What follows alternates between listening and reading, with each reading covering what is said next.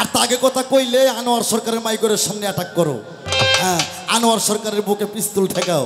হ্যাঁ আমার ছেলেবেলেকে আমি কইছি, বাবা, আমাকে যদি কেউ গুলি টুলি করে হক কথার জন্য, তোরা জান কোনোদিন মামলা মোকদ্দমা করিস এই যে তিয়াত্তরটা দল হবে, তার মধ্যে ইসলাম ধ্বংস করছে, বাবা, রাগ করবেন না। আমি হক কথা বলব, বর্তমান প্রমাণ। এই ইসলামকে একমাত্র ধ্বংসের পথে নিয়ে গেছে এক দল, সেটা হচ্ছে তাবলিক জামাতের দল। নবীজি, পিতা আব্দুল্লাহ। নবীজি, মাতা আমেনা। নবীজির দুধমা, হালিমা। নবীজি, রওজা মদিনা। যারা নবীর দরুদ করতে ঘৃণা মনে করে, সে আমার জন্য আমার টুকরা। আমার বাবার কাছে আমি সর্বপ্রথম জানতে চাইব, মারফতের ফকির সাহেবের কাছে বাজা আপনার যে মারফত, এই পবিত্র মারফত, এই পবিত্র মারফতের প্রথম দরজাটাকে এবং এই মারফতটা কি জিনিস? এটা কি খায় না মাথায় পরে না পানি দেয়?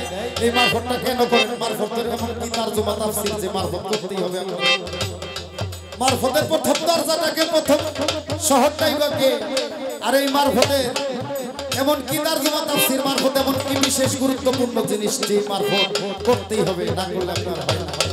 এই মারফত সম্পর্কে দুই চারটি আলোচনা করবেন, এই দুইটা প্রথম জানার বিষয় রইল। আমার বাজারের কাছে শরীয়তের ফকির মারফতের ফকির সাহেবের কাছে জানা রইল। আশা করি সুন্দর করে মীমাংসা করবেন। আর আমি আনিস সরকার আপনাদের চরণের কাছে সারা রাজ্য থাকতে পারি আমারে কয়, দয়াল, আপনি মারফত কোন জায়গায় আমারে কয়, বাবা, যেত যাবত হলে মারফত গাইছেন? হ্যাঁ।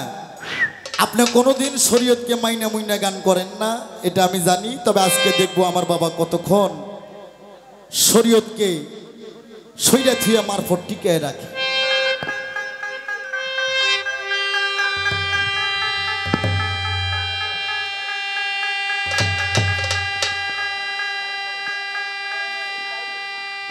আমার কাছে প্রশ্ন করছে, মারফতের দলিলটা কি? মারফত করলে কি হয়, না করলে কি হয় মারফতের? সাধন ভোজনটা কি আর মারফতের দরজা কি, মারফতের শহর কি? মারফত করাই লাগবো? এমন কোন বিধান, কোন হাদিস, দলিল, কোরআন, কিতাবে আছে কি না? কি বাবা, এটা বলে নাই? বাবা, এত কথা বললে তো জ্ঞান হবে না। এই, এতক্ষণ স্যার কি করছিলেন? আমি বলছিলাম, স্যার কথা আনেন না, এখন স্যার একদম আমি না বসা বন্ধু কোনো চা আসবে না মঞ্চে।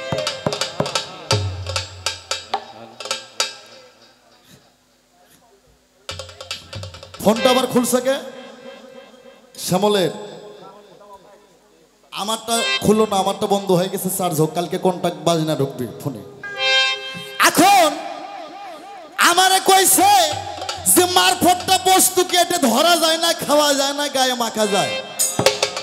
এই আনিস, খালি তুই না, এখানে যারা শরীয়ত প্রান্তির লোক আছে, সকলেই যেন শোনে, কানটা পরিষ্কার কইরা। এই পৃথিবী অন্ধকার, ধন্ধকার, কুয়াকার, নৈরাকার, আকার, উপর শিকার, দীর্ঘিকার কোনো কিছু ছিল না।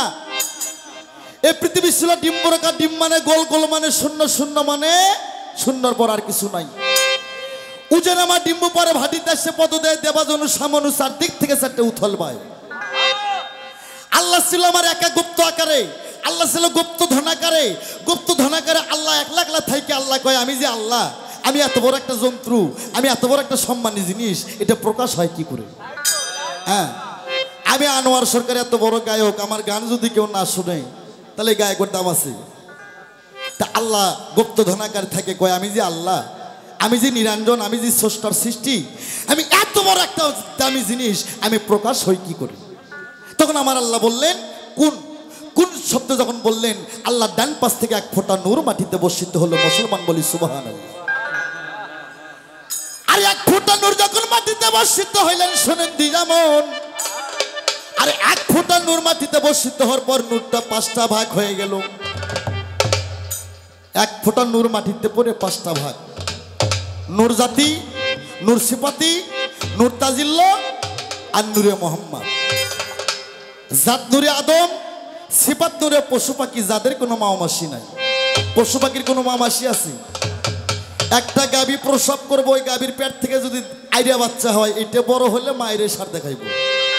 এটা হচ্ছে সিপাত্তুর আর নুরতাজিল্লতে চব্বিশ হাজার অলি আর আল্লাহর সৃষ্ট কুদরুতে আল্লাহ পবিত্র কোরআন শরীফের মধ্যে, প্রতিটা খুদ্বার মধ্যে বলছে আউয়ালুমা খেলা কুল্লাহে মিন নুরি।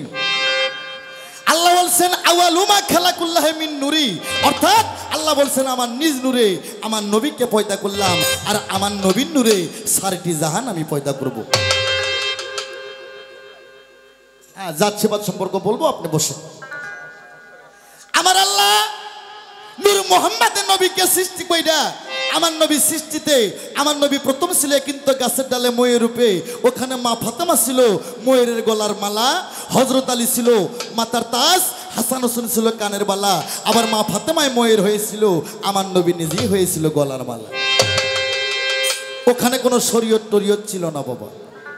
ওখানে ছিল তারা মারফতে, তারা ধরাধামি ছিল। মারফত শব্দ। মা মানে নিস নিস মানে সিনা এবং জানা। মারফত যাহা দেখা যায় না, দুই চোখ দিয়ে যাহা দেখা যায় না, যাহা দেখা যায় দিব্য চোখে। তাহার নামে মারফত। মারফত মা মানে নিস নিস মানে সিনা এবং জানা। অসিনাকে সিনার নামটাই হচ্ছে মারফত। আমার নবী প্রথম সৃষ্টি হয়েছে মারফতের মধ্যে। এক লক্ষ চব্বিশ হাজার নবী যারা আসছেন, কোনো নবীর উপর কোনো শরীয়ত ছিল না, কোনো হকিকত ছিল না, কোনো তরিকত ছিল না, কোনো মারফত ছিল না। একমাত্র আমার নবী যখন পৃথিবীতে আসলেন, আমার নবীর বাবা ছিল আবদুল্লাহ, মা ছিল আমেনা। নবী আমার যখন জন্ম নিল, তখনও নবীর উপর কোনো শরীয় ছিল না। নবীর বয়স যখন চল্লিশ বছর হইল, চল্লিশ বছর বয়স হওয়ার সঙ্গে সঙ্গে আমার নবী শরীয়তের একটা লাইসেন্স পাইল। আল্লাহ বললেন, বন্ধু, তুমি তুমি আমার শেষ নবী, তোমাকে সৃষ্টি না করলে আমি পৃথিবী সৃষ্টি করতাম না। তুমি আমার দোস্ত, তোমার উপর আমি শরীয়ত নাজিল করলাম, তোমাকে আমি নবুয়ত দিয়েছি, সেই নবুয়তটা তুমি আজকে প্রকাশ করো। নবীর যে নবুয়ত, সেটা নবী আমার চল্লিশ বছর বয়সে প্রকাশ করছে, বান্ন বছর বয়সে মেহরাজে গেছে, তিপ্পান্ন বছর বয়সে আমার নবী হিজরত করছে।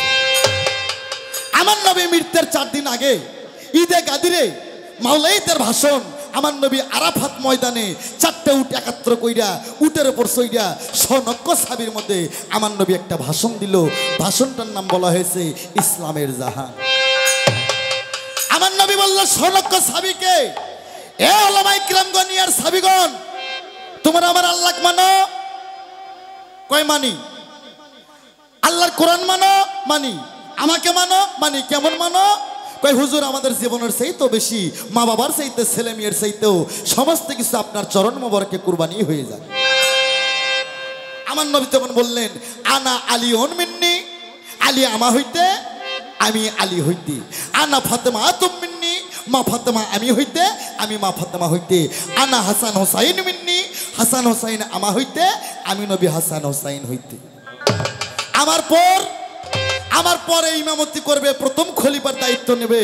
আমার নবী বললেন মানকুম তুম ফাজাহান আলী ওন মাওলা, আমি নবী যার মাওলা হব, আলী হবে তার মাওলা। ওই সময় উমর উমর, যে উমরের সৈন্য এখন সারা বাংলাদেশে, এই উমর বলছিল, নবীর মাথা ঠিক নাই। নবী মরার আগে মরণের পরলায় বক্তাছি আপনি বলতেছেন, আপনি তো ঠিক নাই। আপনি চলে গেলে আমরা হাদিস কোরআন থেকে ফেরকা বাই করে আমরা বাই করব। কাকে প্রথম খলিফা বানান যায়? কিন্তু আমার নবী বলছিল, আমি মরার পর আমার দায়িত্বটা আমার মৌলা আলী মৌলা মুশকিল গোসা হজরত আলী এই দায়িত্বটা পাবে। কিন্তু সেই জায়গায় আমার নবীর কথা কিছু কিছু সাবি তারা রাখলেন না। তারা বলছিলেন, নবীর মাথা ঠিক নাই, মরার আগে মরার প্রলয় বকতেছে। নবী মরে যাওয়ার পর ওই সব সাবিরা নবীকে গোসল করায় নাই, নবীর পার্শ্ব আসে নাই। হজরত আলী একাই নবীকে গোসল করেছে আর সেই হজরত আলীকে মসজিদের মধ্যে, ওই সাইবির দলেরাই আমার হজরত আলীকে মসজিদের মধ্যে এই এই তেরোই রমজানের রাত্রিরে হজরত আলীকে মসজিদের মধ্যে খুন করছে। আমার নবী বলছিল আমি পাঁচ থাকতে তোমরা ইসলামের সাথে যে বেইমানি করলা, তোমরা মোনাফেক। আমি মরার পর এই ইসলামের মধ্যে তিয়াত্তরটা দল হবে। এই ইসলামের মধ্যে আমি মরার পর তিয়াত্তরটা দল হবে। তারই মধ্যে এক কাতারের দল, এক দলের মুসলমান, তারা সর্বশ্রেষ্ঠ বেহেস্তের মধ্যে যাবে। তারা হবে, যারা হবে আমার সুন্নি মুসলমান। বলি সুবাহান বাবা, আমার নবী বলছিলেন আমি পৃথিবী ছেড়ে চলে যাব। আমি চারটা জিনিস ছুঁয়ে গেলাম। একটা কোরআন সুন্না আর একটা আহলে বায়াত। আহলে বায়াত। তখন আলী বলছিল, হুজুর, আপনি পরিষ্কার করে বলেন, আহলে বায়াত মানে কি? তখন আমার নবী বলছিলেন, আহাল মানে পরিবার, আর বায়াত মানে বর্জক। তখন সার সাহবা বলছিল, আপনার পরিবার কারা? আপনার তো ছেলে মেয়েই নাই। আপনার তো ছেলে সন্তানই নাই, আপনার পরিবার কারা? তখন আমার নবী নকদেব বলে দিছিল, আনা আলী মিন্নি, আমি আলী হইতে, আলী আমা হইতে, আনা ফাতেমা তোম মিন্নি, ফাতেমা আমা হইতে, আমি ফাতেমা হইতে, আনা হাসান হোসাইন মিন্নি, হাসান হোসাইন আমা হইতে, আমি হাসান হোসাইন হইতে। আর এখন যে সমস্ত আলেম বাড়ি হইছে বাবা, এ এই শালাগো কাছে খালি আলীর কথা কইলে আর কি গাঁত আগুন জ্বলে যায়। অগক খালি কও, উমর, তালহাজ জোবাইয়ের মা বিয়ের কথা কও, আর মাদ্রাসার আন্ডারে দাও, আর বয়ে বয়ে আর জলমের খাওয়া খায়। এই শালা বান্দির বাচ্চা, এই দশে মহরমের মধ্যে মুসলমান, এজিদের বাবার নাম ছিল মাবিয়া আমার নবীকে অপরাধ করছিল দামেশকার রাজ্য দিয়ে। এ মাবিয়ার সন্তান। বান্দির বাচ্চা এজিদ। এজিদ ছিল মুসলমান। এজিদের মাথায় ছিল টুপি। এজিদের মাথায় ছিল জুব্বা। এজিদের গায়ে ছিল জুব্বা। এজিদের মুখ দাঁড়িয়ে ছিল। এজিদ মুসলমান হয়া আর এক মুসলমানকে কি করে খুন করতে পারে? কারবালার ময়দানে। সিফিরের ময়দানে জঙ্গি জালালের যুদ্ধে মুসলমান হ্যাঁ মুসলমানকে কি করে মারে?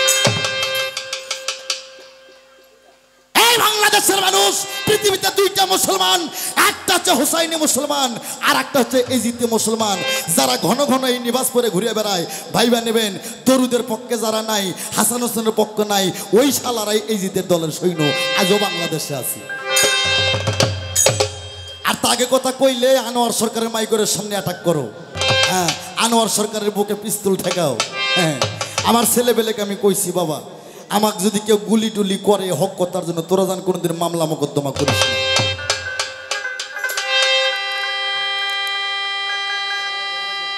তাহলে আমার মাওলা যার মাওলা, আলী হবে তার মাওলা। আমি নবী যদি এলেমের শহর হই, শহরে আসার দরজাটাই হবে মুসলমান বলি আলী বাবা, এই যে তিয়াত্তরটা দল হবে তার মধ্যে ইসলাম ধ্বংস করছে। বাবা, রাগ করবেন না। আমি হক কথা বলব, বর্তমান প্রমাণ। এই ইসলামকে একমাত্র ধ্বংসের পথে নিয়ে গেছে এক দল, সেটা হচ্ছে তাবলিক জামাতের দল। দেখবেন কোন মসজিদে যদি উচ্চ স্বরে নবীর উপর দরুদ পড়া হয়, যে আমার নবী বলছে, যেখানে আমার দরুদ সালাম পেশ হয় যেখানে আমার যেখানে কোরআন তেলাওত হয়, যেখানে ওয়াজ মাহফিল হয়, আমার নবীর তিনটে অবস্থা আছে। একটা হাকিকি অবস্থা, একটা ভাষারি অবস্থা, আর একটা মালিকি অবস্থা। সামকে দিলে! আমি গান গাই দিকে চা খাস না।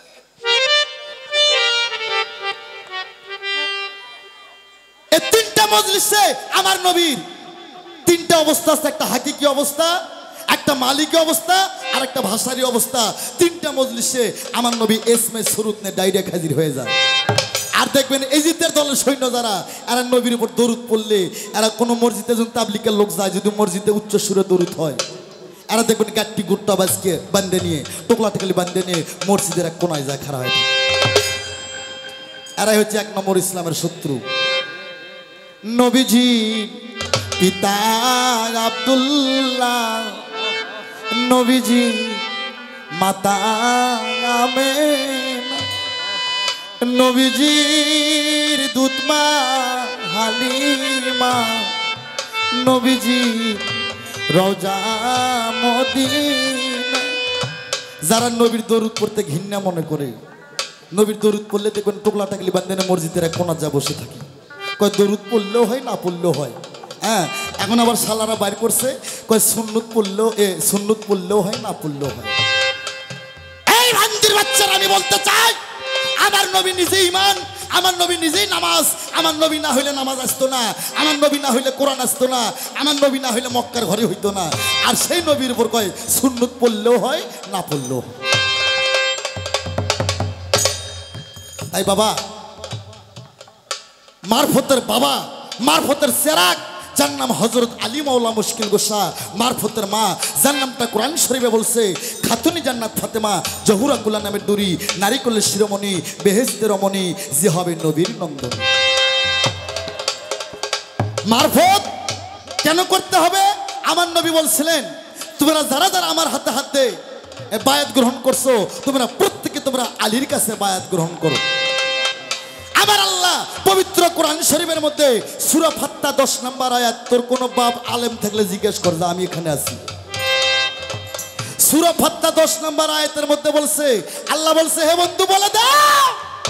যারা তোমার হাতে হাত দিয়ে বায়াত গ্রহণ করল, তাদের তুমি পরিষ্কার করে বলে দাও, তারা যেন আমি আল্লাহ আমার হাতে হাত দিয়ে বায়াত গ্রহণ করল, মুসলমান বলি সুবাহান সুরফাত্তা দশ নম্বর আয়াতের মধ্যে, রাসুলের হাতে হাতে স্বয়ং আল্লাহর হাত, যারা নবীর হাতে হাতে বায়াত গ্রহণ করছে, তারা আমার আল্লাহর হাতে হাতে বায়াত গ্রহণ করছে। শরীয়তটা, এটা হচ্ছে প্রাইমারি বাবা, এটা ঘরের বেড়া। শরীয়তের শিক্ষা আমি ছয় বছর বয়সে পাইছি। আমার মাদ্রাসায় যাওয়ার লাগে না, আমার বাপই আমার শিক্ষা দিচ্ছে আমার বাপ কইছে, আনোয়ার, ছয় বছর বয়স হচ্ছে তোর মায়ের কাছে আর থাকবি না, তোর মায়ের কোল হারাম। আমি আগে ন্যাংটা হয়ে গোসল করতাম খচ্চর মানুষ ছিলাম তো, সব সময় একটু কাপড় চোপড় ছাড়াই চলতাম। যখন আমার ছয় বছর বয়স হয়েছে, আমার বাবাই কইছে, বাবা, তোর আর লেঙ্গা হওয়া ল্যাংটা হয়ে থাকা যাইব না। তোর এখন প্যান্ট পরতে হইব। বলে, কেন? আমার আব্বাই কয়, বাবা, তোর উপর এখন শরীয়ত নাজেল হয়েছে হ্যাঁ। আমার আমার বাবা যখন নামাজ পড়তে যায়, আমার কয়, চলো নামাজে যাই। কত শরীয়ত করছি। আমার যখন আর না ছয় থেকে সাড়ে ছয় বছর বয়স হয়েছে, বাবরিক ডেকে নিয়ে এসে আমার ধনের মাথা কাটাইছে। কত শরীয়ত করছি হ্যাঁ? শরীয়তের নামাজ, রোজা, হজ জাকাত কালামাইটে ছয় বছর বয়সে আমার বাবা আমার শিক্ষা দিছে। কিন্তু মারফত অসীমকে চিনার পথ, আল্লাহ বলছে, সিরাতুল মোস্তাকিনের পথ। আমার নবীকে আমার নবীকে চিনা এবং জানা, আমাকে পাওয়া এবং আমাকে ধরা, এর নামই বলা হয়েছে মারফত। শরীয়তের পাঁচ শক্ত নামাজ, হজ জাকাত কালামা, এটা আমি ছয় বছর আগে পাশ করে ফেলেছি। এখন আমি মারফতে আছি। কখন আমার বাবা রশি সরকার এই আমারে কইব, আনোয়ার, তুই পরীক্ষায় পাশ করছিস, সেই আশায় আছি আমি বাবা। আর তুমি কোন জায়গায় থেকে কোন জায়গায় আমারে ডাকো? আমি শরীয়তের নামাজও পড়ছি, রোজাও করছি শূন্যতো কাটাইছি, কাপড় পিন্দি মায়ের কোল ছয় বছর হলে ত্যাগ করছি। এখন থেকে থেকে কি আর কমো বাবা? ওটা আমি জলমের ইবাদত আমি করছি। এখন আমি আছি মারফতে নবীকে পাওয়ার আশায়। নবীকে পাইতে গেলে এই মাদ্রাসায় বসে পাইবা না। নবীর মাদ্রাসায় যাইতে হবে। এগুলো তো দেওবন্দি মাদ্রাসা, আলিয়ারি মাদ্রাসা, কৌমি মাদ্রাসা, ওহাবি মাদ্রাসা, এজিদি মাদ্রাসা। কিন্তু নবীর মাদ্রাসায় যদি পড়তে চাও, তাহলে তুমি মারফত কি তাহলে বুঝতে পারবে। ওরে কালির এলাকায় আলেম হয় গাইবে যার নাই বেটা গাইবে এলেম যার নাই। নূর কালির জুদে মাকা কালির কালিতে, কোরআন লেখা যে পাইছে মুর্শিদের দেখা, কোনো দেখার বাকি নাই। কালির লেখাই আলেম হই না। ও রে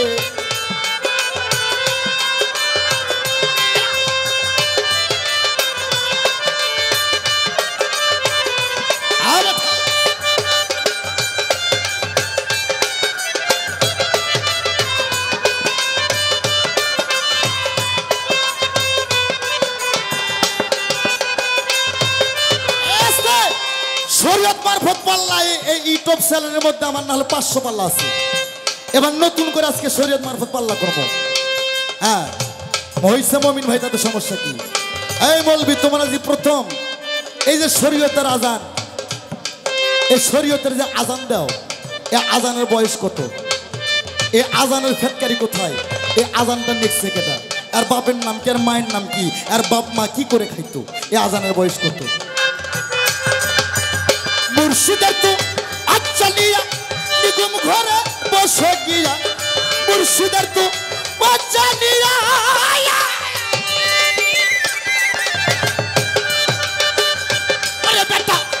নিগুম ঘরে বসে গিয়া কলম যাবে জারি হইয়া কলম যাবে জারি হইয়া তুই চোখকে দেখবি আলেক সাই, কালি লাগাই আলেম হই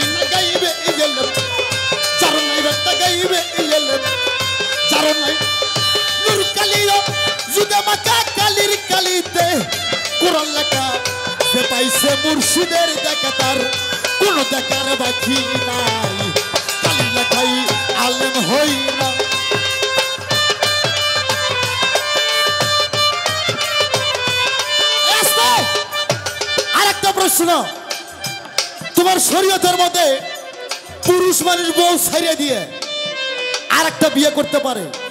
পুরুষ মানুষের এক বউ থাকতে আর একটা বিয়ে করতে পারে। হ্যাঁ? এই ইব্রাহিম নবু তার ছোট বিবিকে আর এক জায়গায় স্বামী থাকতে বিয়ে দিছিল। আমার জিজ্ঞেস তোরা শরীয়তের মলবিরা, তোরকে বউ আর একজনক কেন কন্টাক্ট বিয়ে দিস না? আর বিধান ইব্রাহিম নবী তার ছোট বিবিকে তাই নিজে এক বাচ্চাকে বিয়ে দিছিল। কয়েক মাস পর কন্টাক্ট শেষ বউকে ঘুরে এনেছে তোমার শরীয়তের মধ্যে বউ থাকতে তুমি আরও দুই তিনটা বিয়ে করতে পারো।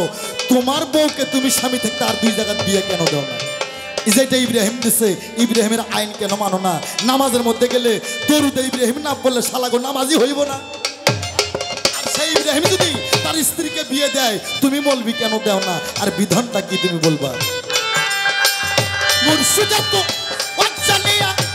বাচ্চানিয়া ঘরে বসে গিয়া মুর্শিদের তো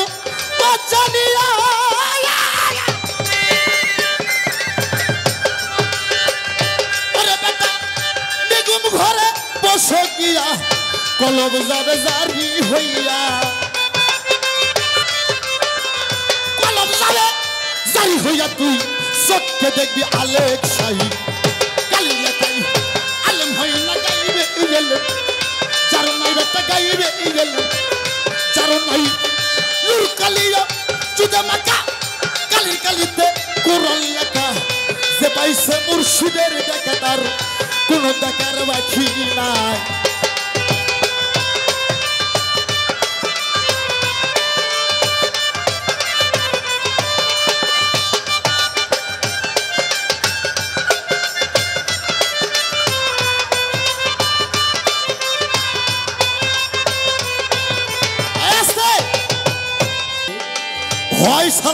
মারতাম না হলে আমি মরতাম।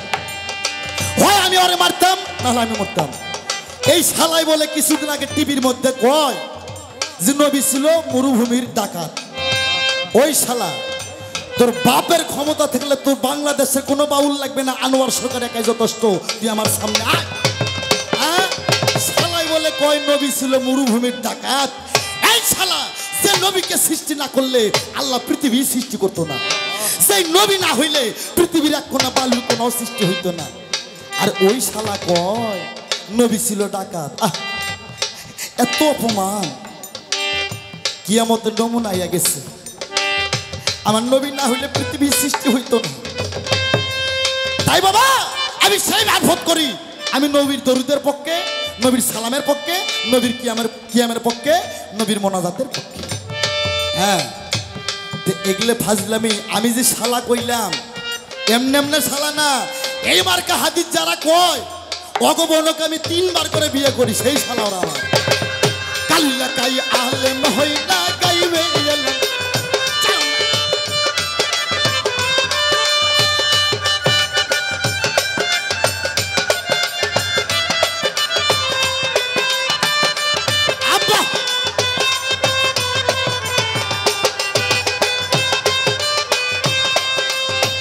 বোঝেননি বাবা ছোট বাজাও ইব্রাহিম নবী তার ছোট বিবিকে কন্টাক্ট বিয়ে দিছিল।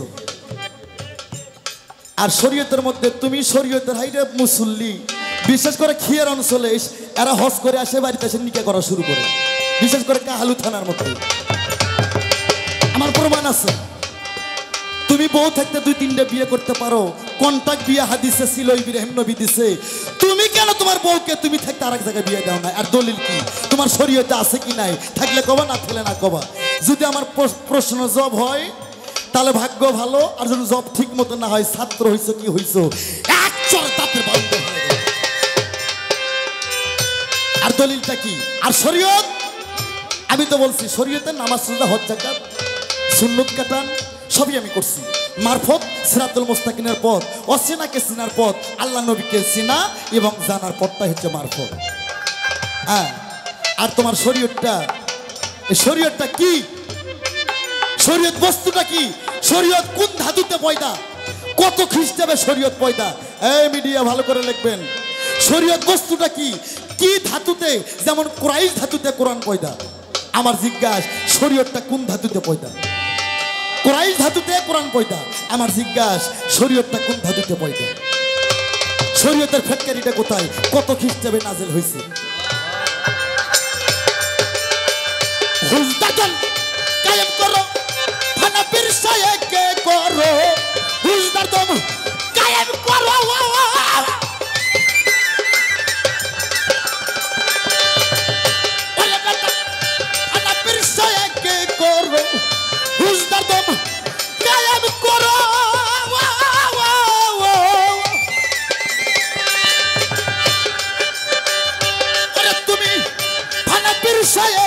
করো বাবা, থানা ফিলাই যাইতে পারো।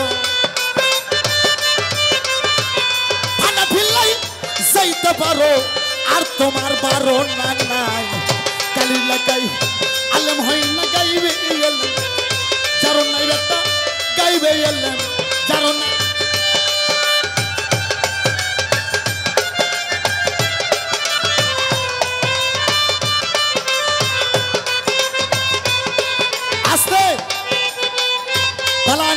প্রশ্ন করছে আমার আমার ছাত্র, বাবাজি তোমার আজকে টিভি দেবো আজকে আমি। আমি তোমার কইছি না, তুমি তুমি আনোয়ার সরকারের উপরটা দেখছ, ভিতরে তুমি হাত দাও নাই, ভিতরে খালি বিশ্বা ভরা। আমার ভিতরে খালি বিশ্বা ভরা। এই, আরে যে দুইটা মুরবি বয়তি জয়নাল সরকার, আর এই যে ইদ্রিস বাউল দেওয়ান। এই, তোমরা কইবা, তোমরা সকলে মগলে শরীয়ত? আমি একাই মারফত, আমার মারফতের মধ্যে গান যাই যাচ্ছে, ঢোল যাই যাচ্ছে বাসি যাই যাচ্ছে, হারমোনি যাই যাচ্ছে। আমি হাদিস দিয়ে দেখাই দেবো। যাই যাচ্ছে। তোমার শরীয়তে গান যাই যাচ্ছে কিনা? ঢোল বাজানো যাই যাচ্ছে কিনা? যদি ঢোল বাজানো যাই না থাকে, এই শালা, তোর গানে জানি ঢোল না বাজায়। যদি শরীয়তে যাই না থাকে, ঢোল বাজাইবা না। খালি মুখে গাইব। তোর শরীয়তে যদি হারমোনি বাজানো জায়জ থাকে, বাজাইবো না হলে খালি মুখে গাইবা। আর শরীয়তে যদি গান গাওয়া জায়জ থাকে, গাইবা না হলে পাও ধরে বইয়ে পড়বা। গান আজকে একলাই গামো।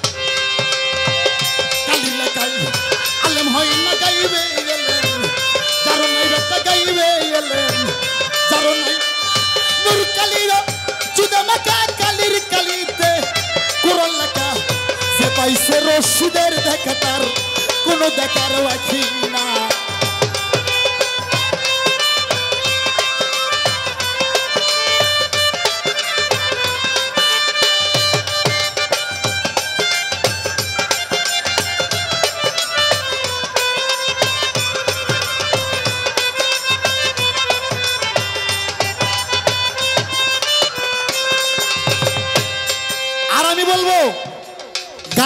হারাম। সব গান না বাবা, কিছু কিছু গান হয়, গান শুনতে যাবেন না, কেউ করাবেন না।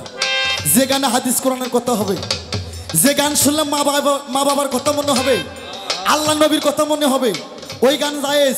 আর যে গান শুনলে বইয়ের কথা মনে হবে, প্রেমিকের কথা মনে হবে, ওই গান যে শালারা গায়, তারাও জাহান্নামি। যেই শালারা করায়, তারাও জাহান্নামি। সরকার, রশিদ কয়মর কথা ধরো, মরণেরই আগে মরো। বাজান কয়মর কথা ধরো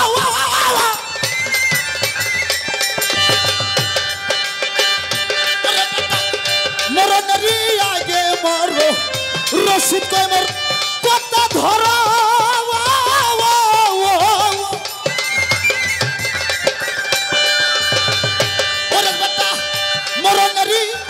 আগে মরো আগে মরতে পারো